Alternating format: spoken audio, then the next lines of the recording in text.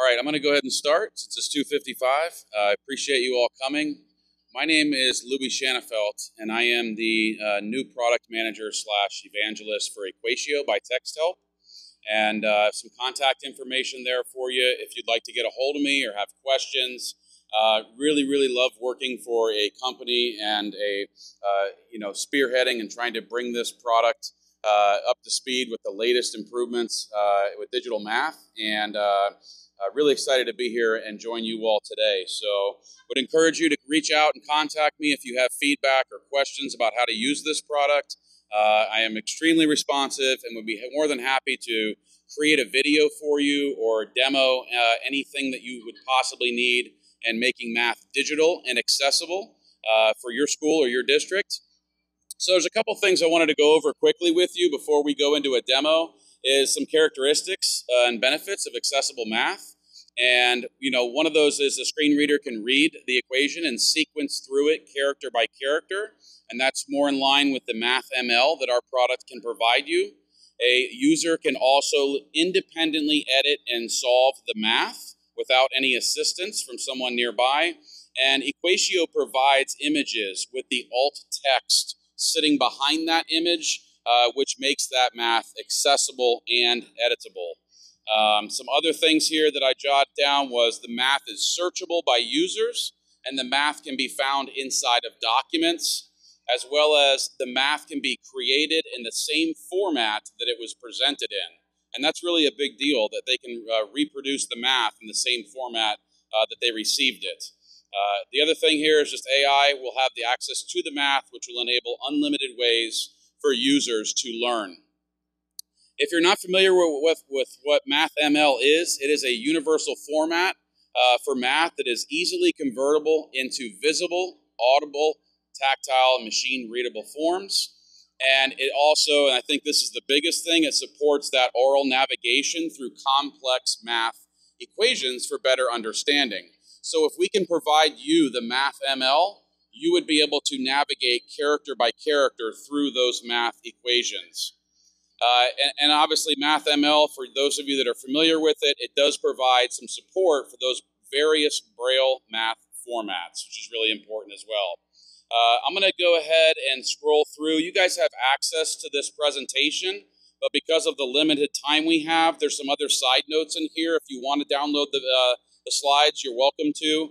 Uh, we also, I'm going to talk a, a, little bit about LaTeX and the demo that I do for you today. Uh, LaTeX, just so you know, is a markup language. It's familiar in many math uh, institutions, and those higher ed professors uh, are commonly using LaTeX. We allow our folks and our users to use the LaTeX markup language, and we encourage students to learn from LaTeX. And you can really create some really profound uh, math equations and sequences uh, using LaTeX. So it is not supported, however, with screen reader technology, so that's a downside of LaTeX. Uh, but you can create math in Equatio using LaTeX. So uh, you can make math many, many different ways, which is what I'm going to show you. There's a couple animated GIFs in the presentation that I shared with you uh, on the website. So if you want to take these little demos back with you, you're welcome to share these with folks, and it'll show you how to make math accessible and digital through the Google platform as well as the Microsoft platform. Uh, so there's the Microsoft demo. Uh, they're about 30 seconds long, and it'll loop for you. Um, but I can send you uh, a little bit longer videos. If you want to reach out and contact me, I'd be more than happy to send you something that's a little bit slower speed. Um, when you make a GIF, you want it under 30 seconds, so it's a little bit fast, um, but it'll show you how to use our product to do textbook conversion, which a lot of people are using our product for. Uh, so with that being said, I want to kind of go into a demo real quick. I'll try and show you the Google representation first, and then we'll move over to Microsoft so I can kind of show you how our uh, how our browser, uh, excuse me, how our product works between those two platforms. So I'm in a Google Doc right now, and you will notice that I have a toolbar here at the bottom. I'll go ahead and close that out real quick to show you how I got here. Notice that Equatio in Google is a Chrome extension, so I can simply click and hover over that blue diamond, and when I select it, you'll notice that it does open very, very fast, a little bit faster than the Microsoft product. Uh, and you will see at the very bottom here a series of input methods that are available to you to make your math. This product was, was founded on UDL principles. You know, math is just one of those subjects that a lot of kids and adults, frankly, struggle with. So we, we thought that the best scenario would be is to give users multiple ways to make their math. We just want them to be successful. If they want to make math using an equation editor, I can pop that open and I can use what we determined as, well, we obviously think our product is the best because of our prediction engine and the things we have in it. But I can do simple or complex math, algebraic things right into our equation editor. If I type in something like 12x cubed. Notice how cubed, I don't need to type in a superscript. I can just type in CU, and our prediction en engine is predicting that we want to make 12x cubed. If I want to make subtraction, I don't want to teach those keyboarding skills, so I can keep my fingers on the home rows of the keys, and I can do minus, M-I-N, and hit enter, and notice the subtraction sign goes in. Then I might have 10y squared. Notice I just type 10YSQ and I can tap enter because the squared is there. And then for equals, I'm just going to type EQ, make my equal sign, and let's say something like 17. So once I've made my math, notice that you might say, well, Louis, can you keep going? Can you make multiple lines of math? Recently, as recent as a couple months ago, we've allowed our users to simply just hit the enter key which is, you know, comparable to you typing in a Google Doc in general. If I type the enter key, notice the alignment features that show up now here on this palette. So I can align my math. So as I continue to make more math on line two, I can then align it whether I want it left adjusted, right adjusted, center adjusted, or I could even align by equal sign. So I'm just going to type in some random things here like 8x squared.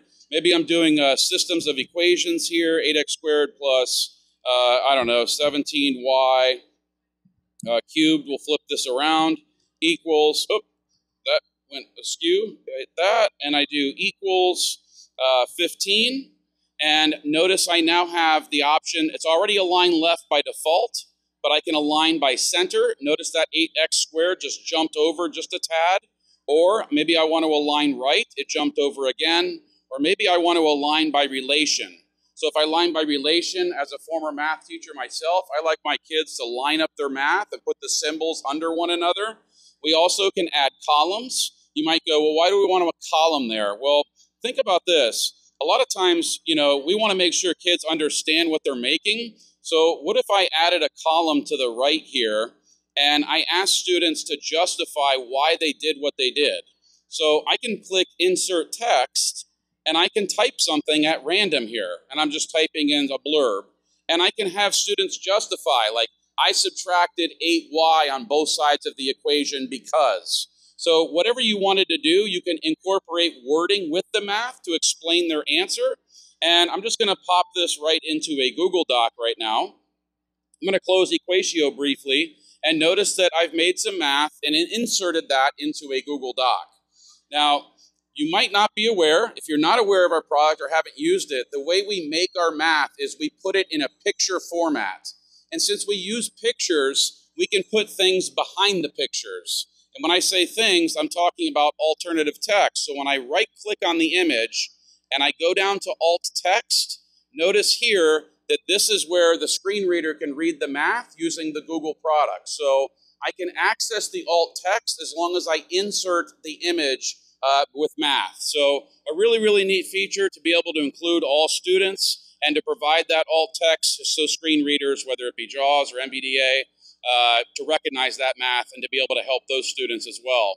Uh, down the road, since, uh, since I am the product manager evangelist for this, I can tell you that we are also uh, looking at uh, very closely. I think it's going to happen. we're going to put the alt text up here under title, and we're going to give you guys the Math ML down here in the description. So if you want more Math ML, that's coming in a future product release for us. Um, so that'll be really good for those users that want access to that Math ML. Yes, ma'am.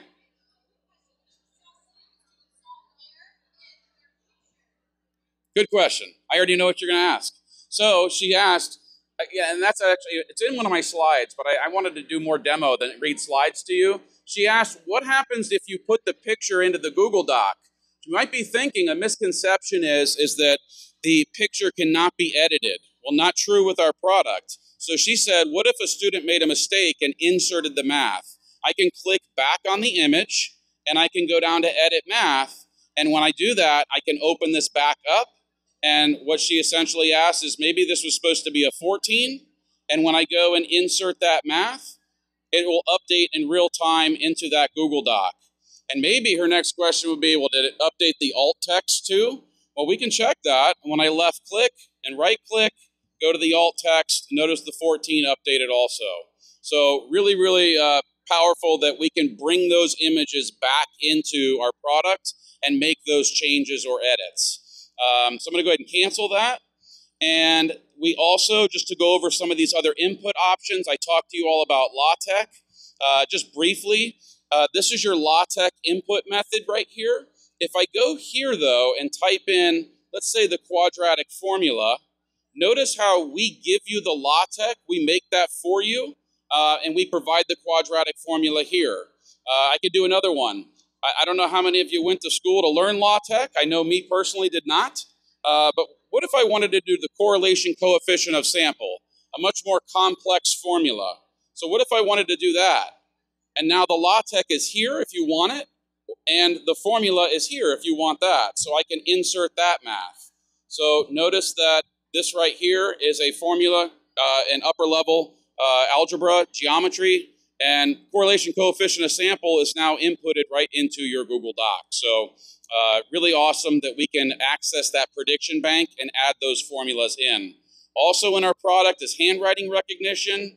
And I can simply come over here, my laptop doesn't fall, and I can scribble some math into this box. Maybe you need more room, so you can drag that up and you can make more math underneath it. Notice the handwriting recognition uh, is, is, captured and it translates that into digital. So 3y squared minus 3x equals 9. Uh, back to kind of her question, can this be edited? What if kids' handwriting is not very good? Well, if it's not very good or it's not legible by our, by our engine here, you can always go over here and make the adjustment. So maybe the X was supposed to be a Y and it picked up the wrong letter. So that can be adjusted as well, and then you can insert that math. The other item here that we'll go over just briefly is our speech input. So if we want to record and capture math, we can hit the record button, 2x squared minus 4y equals 8. And notice it's going to hear my words, and it didn't do a very good job in the beginning, probably because the noise and the sound that's in here, and I'm using an internal mic on my computer, which obviously is not very good but I can go here and edit this as well. So if I really want to, I can go back and insert, I think I said 2x, I don't remember what I said at this point, uh, 2x squared maybe, so I can do 2x squared minus 4y equals 8. Uh, we'll get rid of that, and anything can be edited right there on the fly. Uh, other objects and things I wanted to show you is we know that users are using lots of PDFs still. So I wanted to capture this for you, and I don't have a ton of time to show you everything our product can do, but notice how I've opened up a standard PDF. So if I have a PDF in front of me, currently this math here is not accessible.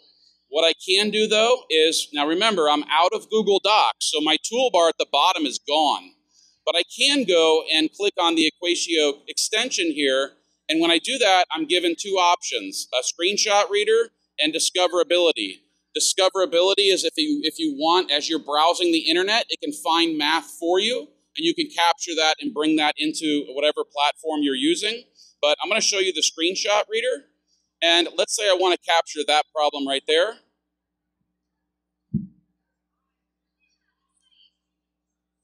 Oh, it's going to. Two lines, line 1, negative 3x minus 3y equals 3, line 2, y equals negative 5x minus 17. Okay, so it read the math out loud, told you line 1 versus line 2. So a lot of students won't want that, won't want to ask, or they're embarrassed to ask for that problem to be repeated. So we could play this problem again. If they had a headphones or whatever, they could listen to it as many times as they want. I can also click on more options, And this is where you can get to the LaTeX or the MathML. So let's say I'm a teacher and I see this problem uh, that the publisher shared with me through a PDF, and I want to copy this problem and put it into a Google Doc or maybe into a Google form. I can copy the LaTeX right here, and I can go back to my Google Doc, and I will go back to this LaTeX editor and simply tap Control V. And notice that we just took that math off of a PDF. We've now made it over here and when I insert this now into my Google Doc, you will see here that we have made an Equatio image, which then what? Provides that alt text for those students who need that accessibility. So we took that math from a PDF. We can also, and I don't have this queued up right here, but it takes me just a second. What if I'm browsing and I see a video uh, on Sal Khan's website and it's about calculus and limits? and I really like the problem he's doing. I can also go right into the video and I can use the screenshot reader here as well. So take a look. There's a problem at the very, very top. I'm going to grab the Equatio screenshot reader out of the extension and I'm going to capture, let's see if it can read Sal Khan's yellow highlighter.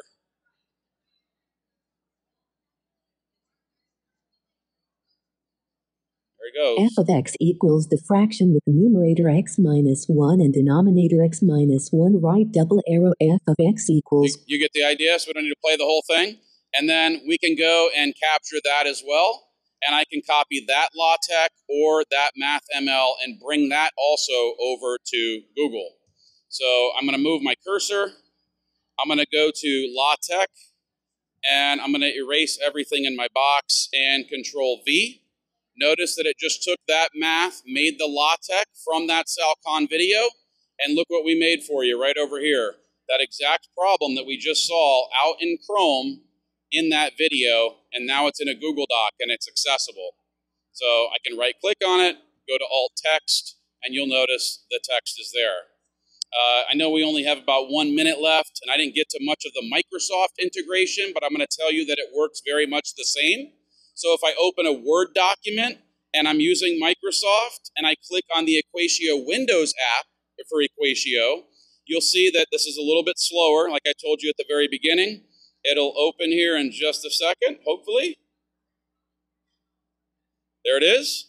And you will notice that I have the same input methods in the Microsoft atmosphere, except for one, and that is the inserting of math spaces. So you will not have access to that one button, but Word will provide you with the exact same uh, mechanism. So I can open a PDF, let's say. So here's a PDF that I opened. I'm going to use the Microsoft screenshot reader, and I'm going to grab this problem here. Let's give this a listen and a try. Limit over x right arrow 2 of the fraction with numerator the square root of 2 x cubed plus 9 plus 3x minus 1 and denominator 4x plus 1. So I can copy that math ML, which I just did. And let's say I want to paste that now in Word. This always takes an extra second here. Of course, it depends on the Wi-Fi, and then my Word stopped responding. We'll give it a second. There it goes. So now that's MathML, and that now can be read by the screen reader. And again, the MathML can be read character by character by character.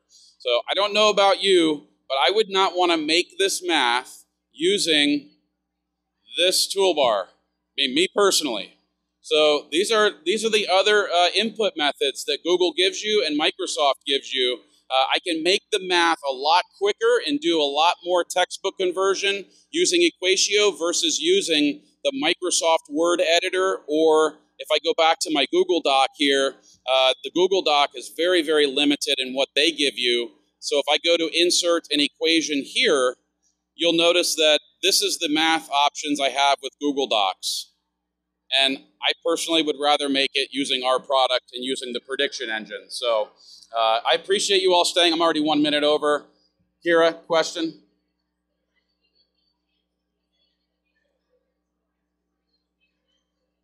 Yeah, we'd love to send you information. I know I have the mic, it's harder. We'd love to send you information if you're interested in more uh, information about our product. I'm going to be over at the booth for the next day and a half or so.